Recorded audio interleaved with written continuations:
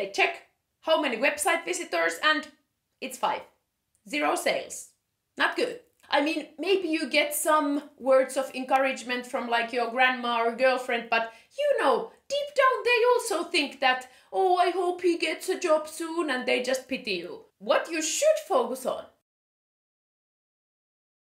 Hello. Entrepreneurship is the best. If you're like me, there's really nothing quite like it. The freedom and satisfaction you can get is beyond comparison. I hope this video will give you some useful tips on how entrepreneurship feels and how to get started with less friction. My name is Karla Nieminen. I have been an entrepreneur for over 12 years. I have sold different kind of live training offerings to different organizations and individuals. I have sometimes been a part-time entrepreneur, sometimes a full-time entrepreneur. I have also given courses and lectures on the topic and I was quite active in the Helsinki Young Entrepreneurs Association board a couple years ago. Let's get started. First, the freedom it's amazing that you can be the master of your own schedule. I mean, you're an adult, you're supposed to be able to decide what you do and when.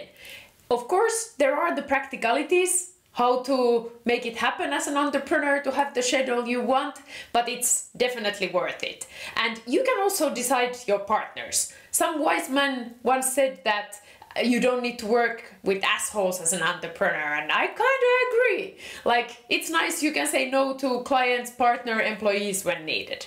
And there's also a lot of freedom related to the impact. You can decide what is your goal and you can decide the product details which industry you go into.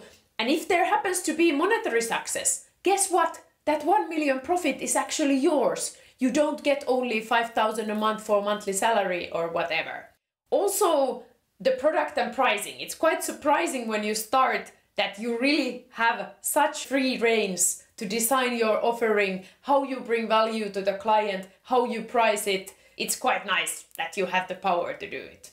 Then there is, of course, the other side of the coin the responsibility of entrepreneurship. Personally, for me, it's quite enjoyable. I'm by nature quite responsible. I'm firstborn child.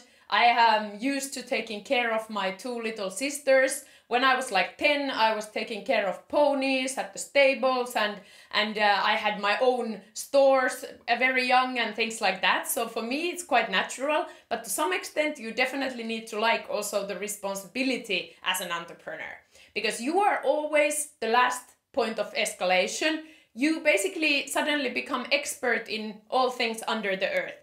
For example, my friend got a call from her employee that there was an aquarium that broke on Friday night in a store, and my friend had to take care of that. Or if your employee's parent's cat needs feeding in uh, during Christmas time, you either need to find a new uh, Christmas time last minute employee or you need to feed your employee's parent's cat or find someone to take care of that.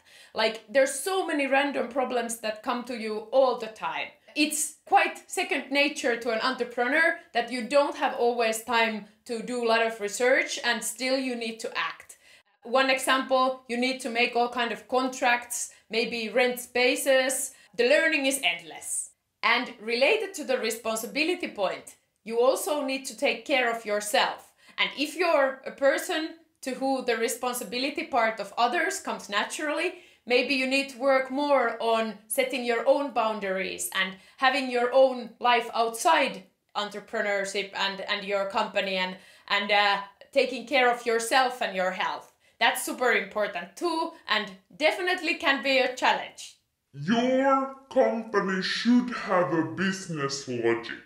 Tracking metrics is super important. You need to have a business logic this might sound kind of obvious that, yeah, you need to have a business logic as an entrepreneur, but I have met a lot of fresh startup entrepreneurs or new entrepreneurs who kind of don't have a goal on what they are going to sell and to who and how to make profit. Have some kind of preliminary plan and you can change it later if needed.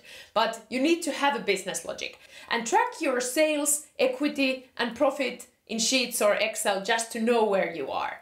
And it depends a little bit on your business type, what it makes sense to track, depending on if you have a limited company partnership or sole trader. But anyway, track it. With prio number one in my list, I don't actually mean that monetary metrics need to be your prior number one. What I mean is that track also what else is important to you. Maybe website visitors, course attendees, videos made. I don't know what's your number one goal, but please track that also.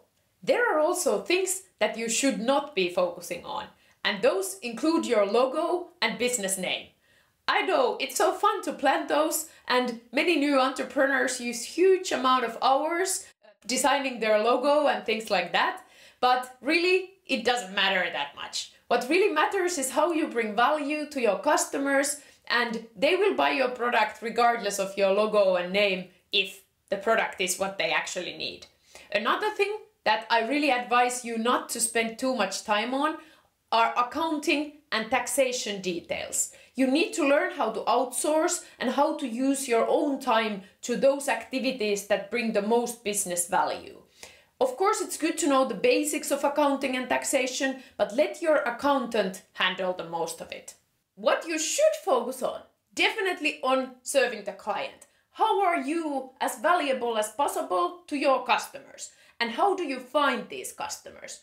It's super common that new entrepreneur makes a nice new website, maybe with the nice new logo, and then they wait. And perhaps they have installed Google Analytics, they check how many website visitors, and it's five zero sales. Not good.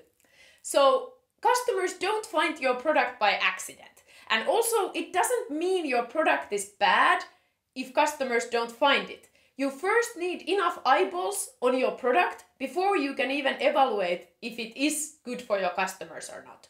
And you need to put a lot of effort on marketing. Nowadays, it's often digital marketing and also reserve some funds to get those eyeballs on your company and product to actually get going and actually know what works. And one extra bonus plus in entrepreneurship is definitely cooperation. It's amazing how experienced entrepreneurs will help you.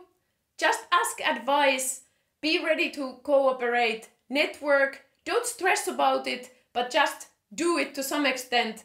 The mindset of entrepreneurship is very much acting, helping, cooperating, and I truly enjoy that. It's it's uh, like no other atmosphere.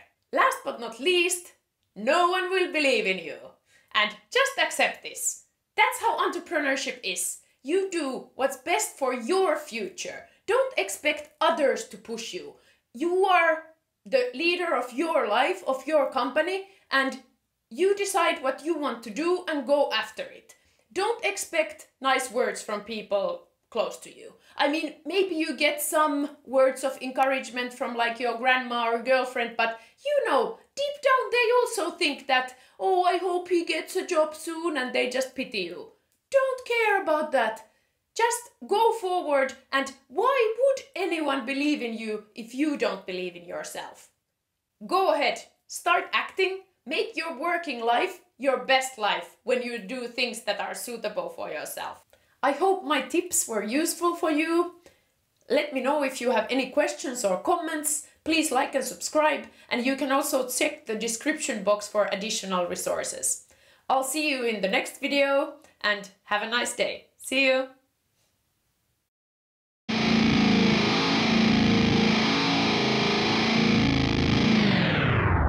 I don't waste time, no I make time. All these people wanna hate, fine, I'ma make mine. While you sitting there complaining, I'll be training. While you sitting there just waiting, I'm creating